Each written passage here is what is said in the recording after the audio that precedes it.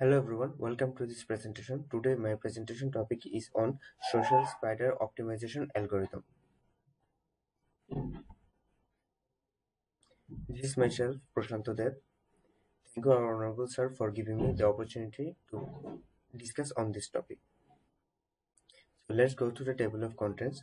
First of all, we will discuss about some theoretical terms in the biological fundamentals then we will discuss about fitness assignation modeling on the vibrations uh, initialization initializing the population cooperative operators mating operator and computational procedure. So let's start with some theoretical terms. Uh, our social spider optimization algorithm is based on the simulation of cooperative behavior of social spiders. So here we will discuss about how they uh, interact in the biological laws of cooperative way. So in the very beginning a social spider colony is totally composed of two fundamental components. One is member and other is communal web so as we know that uh, the member can be two types male and female. So the male spiders are barely 30% and the female spider are barely 70% of the total colony members. So the female spider is responsible for attraction or dislike in the communally and they communicate with using the vibrations on the communal web. So the vibrations may uh, some uh, depends on the weight and distance and for example, the strong vibration uh, can be produced by the big spiders or the neighbor members. The main population is divided into two classes, dominant and non-dominant. The dominant spiders have better fitness. Uh, normally, we we discuss uh, we measure them according to size uh, in comparison to the non-dominant. So let's sum up these parts. And so at the top of the tree we have the social spider colony. It is uh, divided into communal web and social spider. The social spider can be two types male and female. The male can be two types dominant and non-dominant and the female can be uh, that attract or that dislike. So our social spider uh, optimization algorithm uh, assumes the entire search uh, search space is the communal web and the each solution uh, is the spider uh, represents the spider position and the weight is represents the fitness value of the solution. So uh, let's uh, start the algorithm by defining the number of female and male. uh, we will count the uh, female uh, number of female uh, within the range of 65 to 90 percent of the entire population. Uh, we are using a floor function here and a random number between 0 to 1 and uh, as we um, calculated our number of female then if we subtract from this from the total number of member then we will get the we will easily get the number of males so here uh, we will construct a uh, set of s uh, here the, the as composed of n elements. Here it is uh, sub divided into two subgroup uh, male and female. Uh, females are denoted uh, using f1 f2 uh, up to uh, fn and male groups are denoting m1 m2 and um, up to um, mn. So here performing the union operation uh, we will construct the s. So the first element of the s s1 s2 will denote the first elements uh, the females uh, suppose f1 f2 and the uh, f of n element will be the s of uh, n element. Then when uh, after the completing the female numbers we will then we will add the male. So here in this case so suppose the female goes to up to 100 then 101 will be male 1 then 102 will be male 2 and that's why the, it will carry on. So let's discuss about the uh, fitness assignation uh, here we are uh, using uh, the considering the maximization problem uh, the value will be the value will be as we uh, know earlier that uh, x minus mean and maximus maximum minus mean. So particularly like that equation.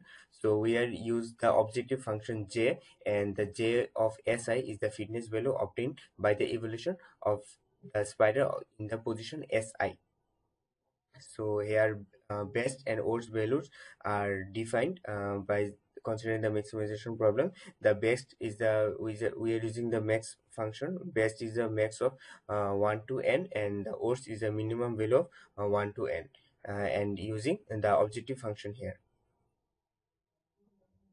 So modeling of the vibration so now we will discuss about um, more uh, vibrations. The communal wave is used to uh, communicating or transform uh, transmitting information among them. And here is the, the important part is the weight and distance of the spider. So uh, logically the nearest spider or nearest member will get the stronger vibrations uh, uh, in comparison to the members who are in the distant distant positions so if we consider that we are uh, um, transmitting a signal from i to j or a signal which, which is passed by i and transmitted by j so the equation will be um, like that uh, vib uh, vi uh, vibration I, uh, I to j will be wj into uh, e, uh, e to the power minus d square ij so here dij is the uh, euclidean distance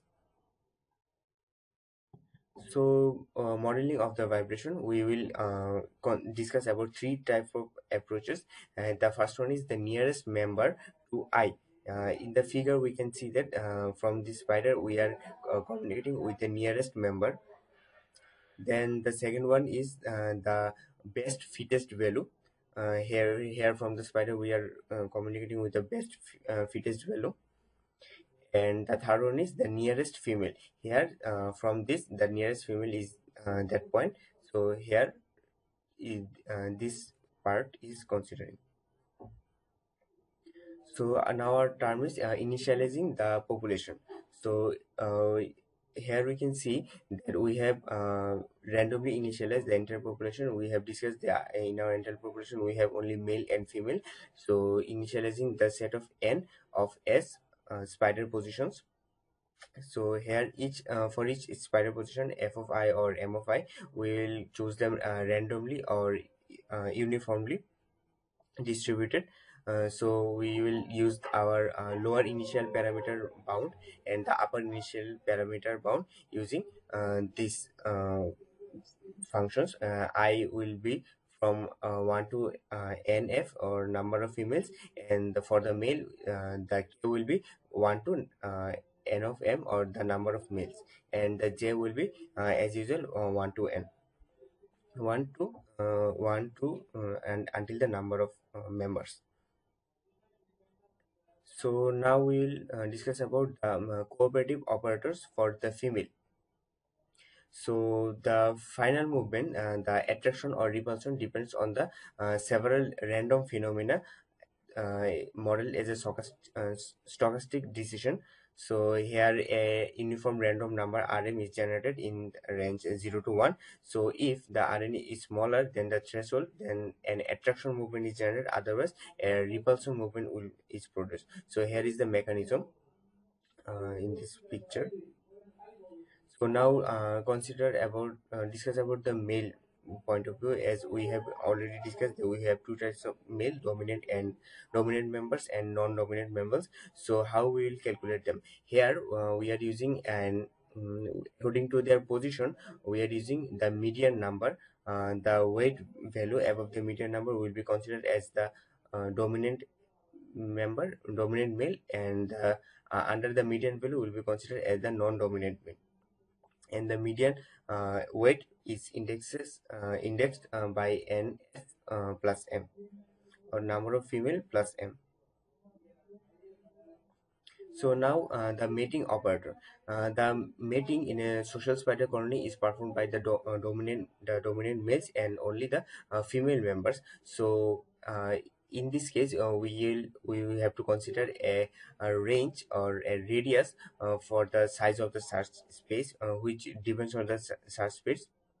So the radius will be calculated like this. Uh, we will iterate from uh, j to n uh, j equals to 1 to n our higher bound to we will substitute our higher bound to lower bound and divide by uh, 2 into n the number of members so now uh, let's see the uh, computational procedure.